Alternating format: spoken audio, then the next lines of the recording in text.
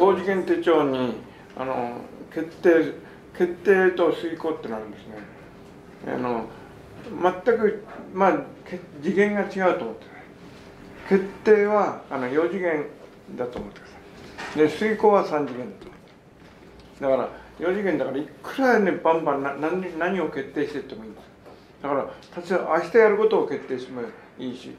10年後やることを決定してもいい。バラバラでいいんです。決定もうその時浮かんだアイデアでただ遂行の段階にはそうはいかないですね。それをこちらに移す時にはまあ明日やることと10年後やることは全然違ってくるよね。まあそういうことでまずそういうことが違う。でそれがまず一つ。それからあのチェックありますね。個人と組織とお客様はじめ人類全ての人っていうチェック。これはあのスイッチだと思ってくる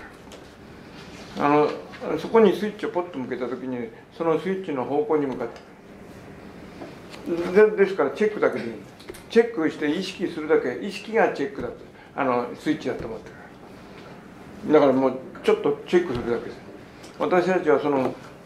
皆さんがこのもう決定遂行もうやってそして皆さんの意識が変わってくる。と本当にそこに意識向けただけでブワッと変わってくるこっちに意識向けたらブワッと変わってくる。そういう部分でそれを習慣つける時に